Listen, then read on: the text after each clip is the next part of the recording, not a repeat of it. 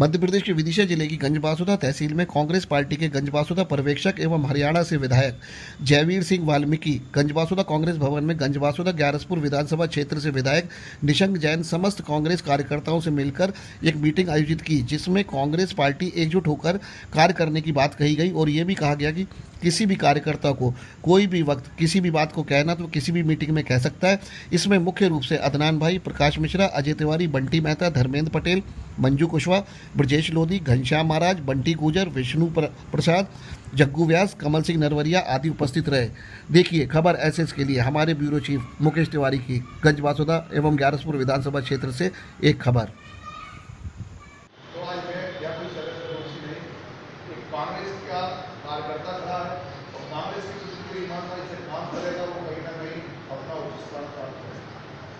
तो पार्टी हम रूप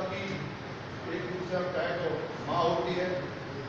और माँ से मुझे नहीं लग, मुझे लगता है जो व्यक्ति माँ से गद्दारी करे वो व्यक्ति ज़िंदगी में किसी काबिल नहीं है और